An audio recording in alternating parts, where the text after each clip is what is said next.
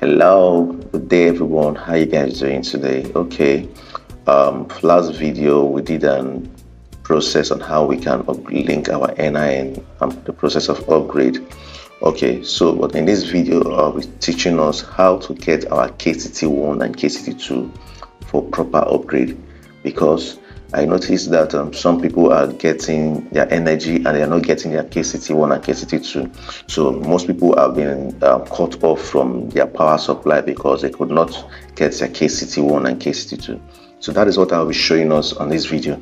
Please, I want to take this opportunity to beg you to subscribe to this channel and make sure you put on the notification bell as our educational videos are dropping three times a week. Be one of the first persons to get this video as a drop okay like i said let's move into this lecture without further ado. Okay now we're back and let's see how we can get our kct1 and kct2 please don't skip any process in this video so that you will not miss it out okay? The first thing you have to do is to what? Go and get your kct1 and kct2 by visiting this website. So when you visit this website okay as i will display the link on the description below okay? Go and get to this website www.ikejaelectric.com slash kct check okay? You can check out the link below this video. So once you go to that particular website okay you put in your meter number okay? I'll be putting in my meter number right away. I'm putting in my meter number then um, am i to blur some things because of privacy issue okay i've put in my uh, meter number and i can click on what submit. When i click on submit you see my kct1 and kct2 will display. As my kct1 and kct2 display okay the next thing i'm going to do is to what? Get my user interface.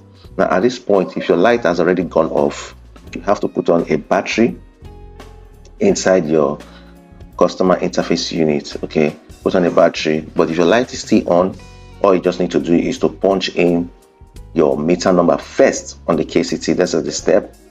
Okay. Then step two, you put in your make sure there is a connection between your customer user unit and your um, prepaid meter. There must be a proper communication. So the first thing you need to do is to establish that communication is what is the what punch in what your meter number. Once you punch in your meter number, you click on press enter it will tell you successful. If you say failed, that means there's no connection between your meter and your uh, customer interface unit. So once it says successful, the next thing you need to do is what to put in your KCT1, okay, your 20 digit KCT1. Once you put it and press enter, the next step you're going to do is to what put in your KCT2. Once you do that and you press enter, the next thing you're going to do again is to ensure that there is a connection between your prepaid and your customer interface unit. So you put in your meter number again and make sure it shows successful. Once it shows successful, all you need to do is to what? Put in your energy code. Once you put in your energy code, light will be restored. So if you have found this video helpful, please don't forget to like this video, share, subscribe. If you are looking out for how to link your NIN on the first video, you can check it out the description below as it displays on your screen. Please don't forget to like, share our video as it will be dropping three times every week. You'll be one of the first persons to get this video. Thank you, thank you, and see you next time.